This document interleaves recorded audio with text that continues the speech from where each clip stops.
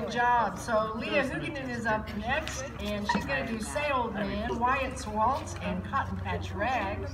And then after that, we've got I, uh, Calendar, so you get ready, dude. All right, ready?